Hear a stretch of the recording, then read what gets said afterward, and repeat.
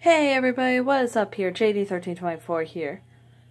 So, I kind of have a dilemma going on. My computer has decided to conk out on me. It's now showing up critical process died. And I've tried everything I've seen on the internet, doesn't work. I'm gonna see about taking it to Best Buy and trying to fix it in some form or fashion. But on I don't really have much plans. I'm gonna at least when I get rid of it, I'm gonna like take out the hard drive so I can at least get the files. That way I don't have to play the games all over again. Uh, for you guys.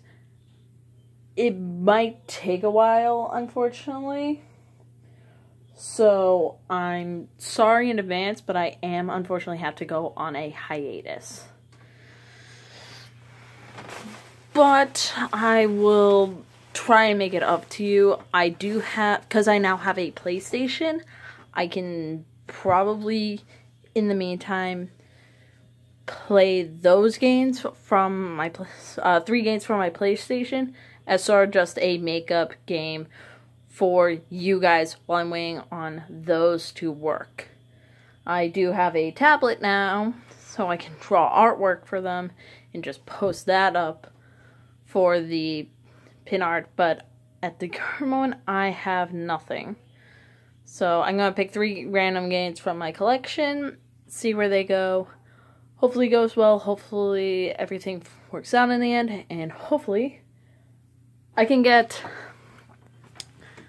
that thing right there.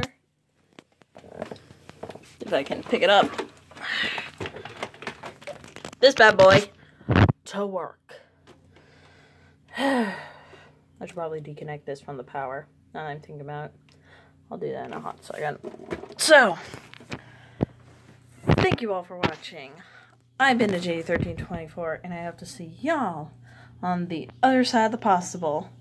Take care, everybody.